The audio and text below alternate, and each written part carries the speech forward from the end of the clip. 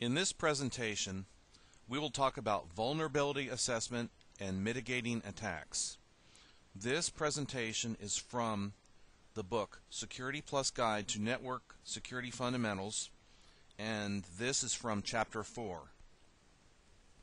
In this presentation, we'll talk about vulnerability assessment, um, assessment techniques. We'll go forward and explain the difference between vulnerability scanning and penetration testing. And finally, we'll list uh, techniques for mitigating attacks. And of course, these techniques are probably the most important part of this chapter since um, you need to prevent these attacks. Okay, so let's uh, get an overview of vulnerability assessment. The first part of the assessment is an asset identification.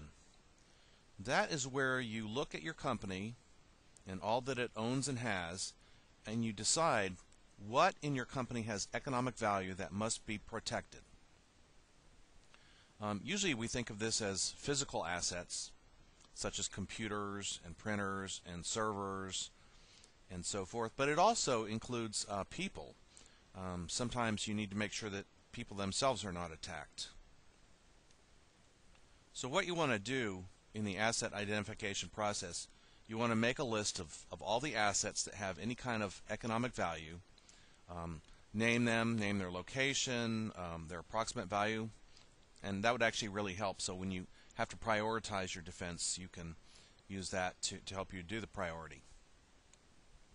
Uh, the second thing you need to do is a threat evaluation. This can sometimes be a difficult process. That's because there are so many possibilities that come with a threat evaluation. But threat evaluation includes uh, physical damage from lightning, uh, flood, um, theft, uh, anything such as that. Um, and of course, the threat evaluation, the virtual threat evaluation, includes people coming in over the internet, uh, trying to trash your web servers, maybe, or um, you know, stealing data. But what most people don't realize is the, that the majority of attacks come from inside. 65% of all um, network attacks come from inside. So it's really kind of your employees or the people on your internal network you have to protect against. I know it's um, not popular to do that and to think about those people as threats, but they really are. The third thing you have to do is a vulnerability appraisal.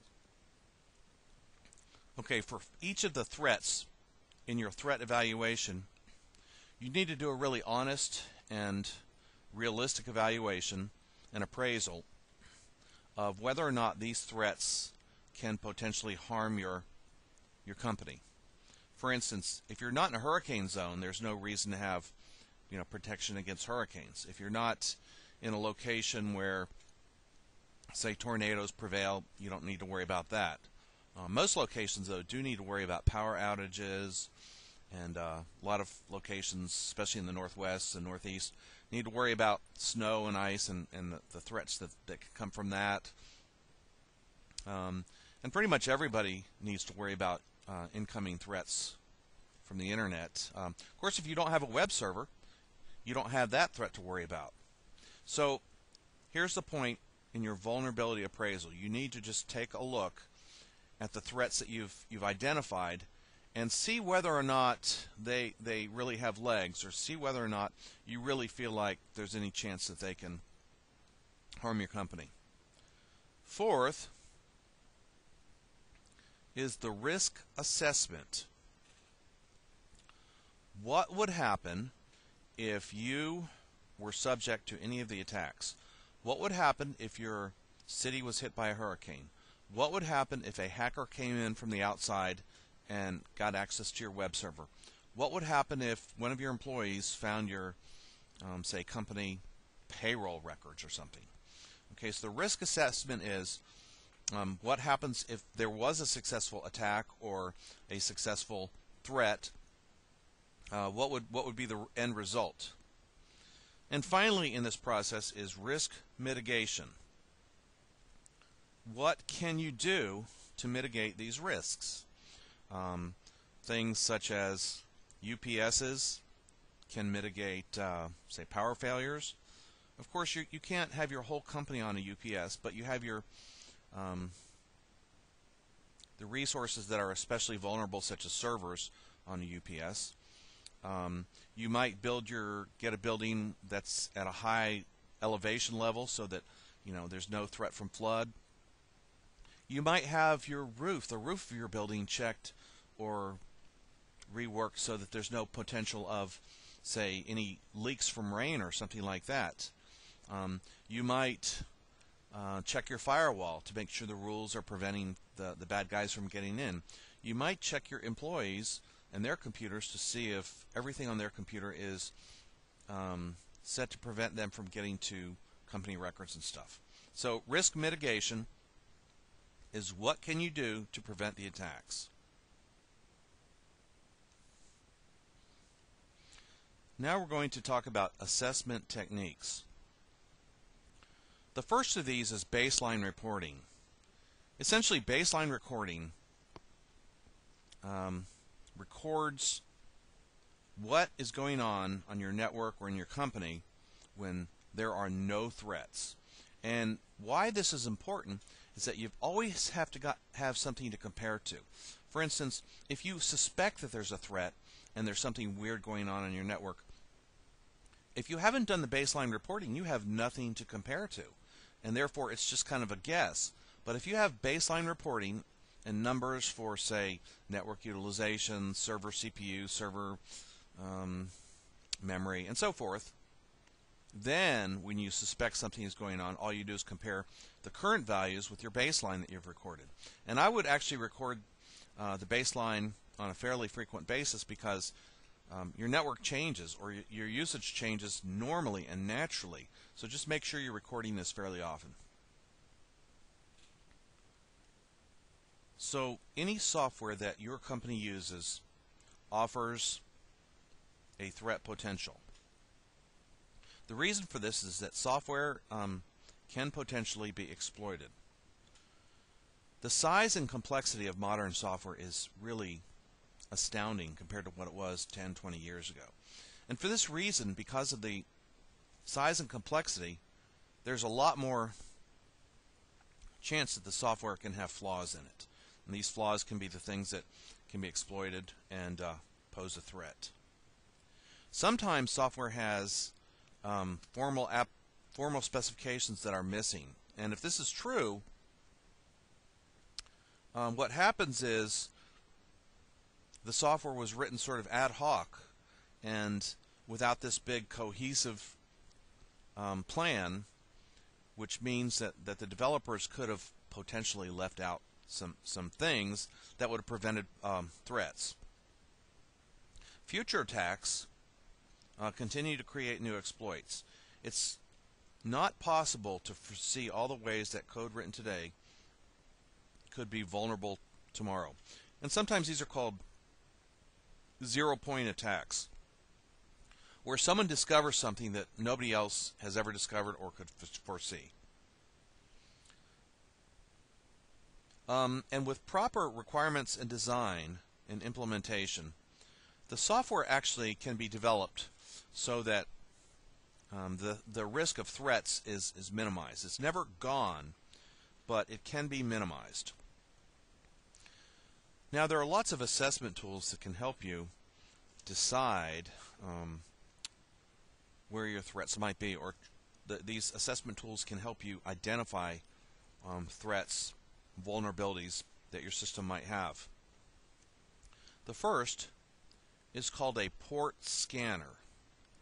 Okay, and what a port scanner does is it scans all TCP/IP ports to find which ports might be open or which might be um, exploitable.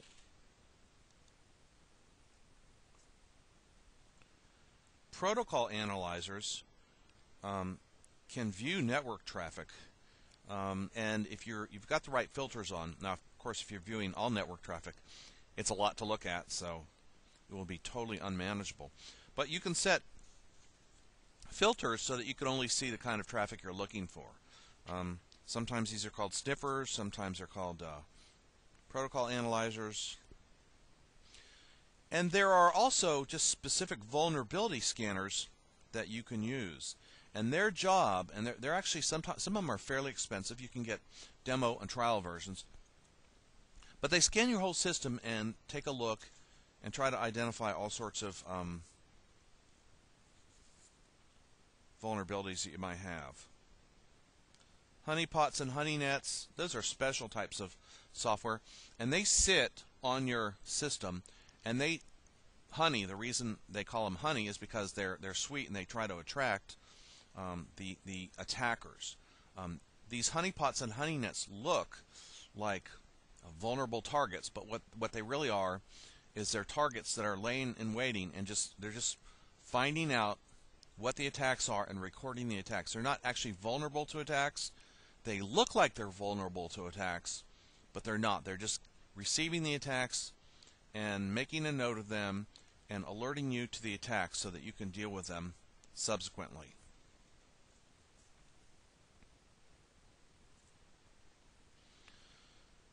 So there are two types of things we need to talk about now, vulnerability testing and penetration testing.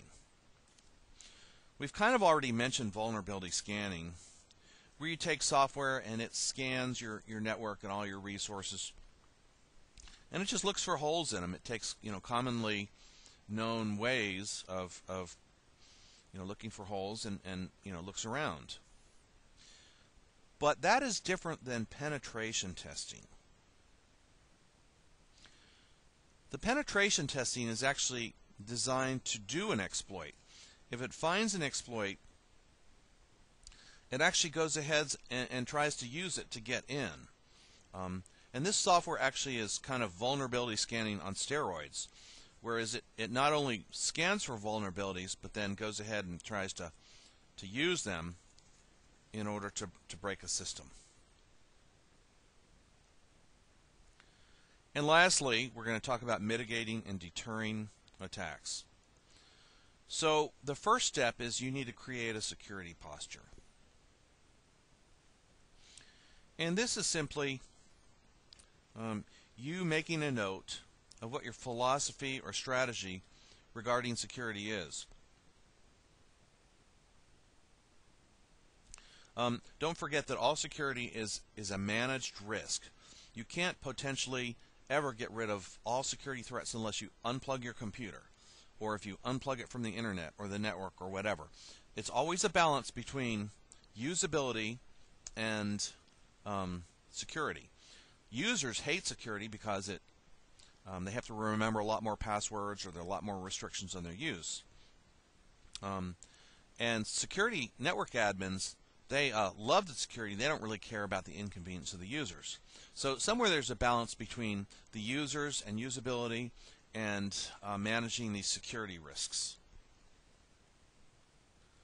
So there are controls that you have on your network, such as your firewall and uh, antivirus and, and so forth.